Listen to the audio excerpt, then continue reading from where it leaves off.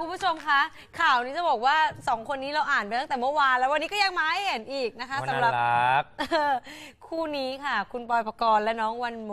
ยอืมต้องบอกว่าล่าสุดควงกันไปออกงานออกแบบออกงานเดินแบบอีกแล้ว ครับก็เลยต้องไปถามหน่อยท่ามกลางเสียงกรีดกันอย่างล้นหลามจากเหล่าแฟนคลับ พาออกงานรับทรัพย์แบบนี้เนี่ยก็ต้องถามเรื่องของค่าตัวก่อนเลย อัพค่าตัวสูงริ้วเลยหรือเปล่า มีงานติดต่อน้องมาเยอะไหมมากมายขนาดไหน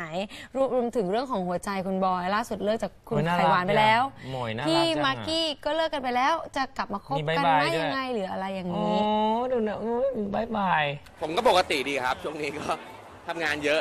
ถ่ายละครด้วย มีอีเวนต์ด้วย ถ่ายโฆษณาด้วยอะไรอย่างเงี้ยเขาบอกว่าตอนนี้เหมือนว่ามีข่าวว่าพี่บอยแบบมีสาวใหม่เข้ามาคุยแล้วพูดคุยแล้วอ๋อไม่มีครับไม่มี แต่ก็มีไหมครับแบบสาวๆเข้ามาขอทำความรู้จักอะไรอย่างเงี้ยไม่มี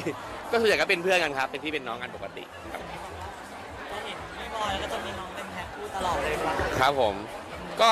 เป็นช่วงมากกว่าครับ บางทีก็มีงานที่แบบว่าเอ่อ เรียกว่าจ้างเข้ามาก็แบบอยากให้มากับ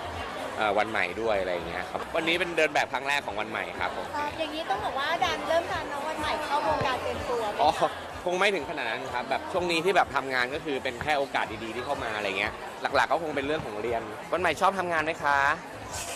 ชอบไหมคะครับค่ะอ๋อสนุกไหมคะ สนุกไหมคะถูกค่ะ อ๋อยิ้มหน่อยยิ้มหน่อย